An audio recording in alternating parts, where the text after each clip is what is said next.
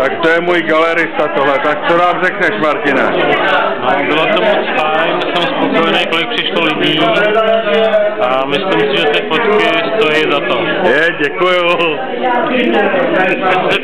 Dejte dál. Já nevím, tak na co bych se třeba zeptal? Eh, Co, co umělecká hodnota těch fotografií? Má to význam pro generace? Generační význam? Má to velký význam, je potřeba, aby to zůstalo zachovaný pro příští generace. Děkuju vám za rozhovor.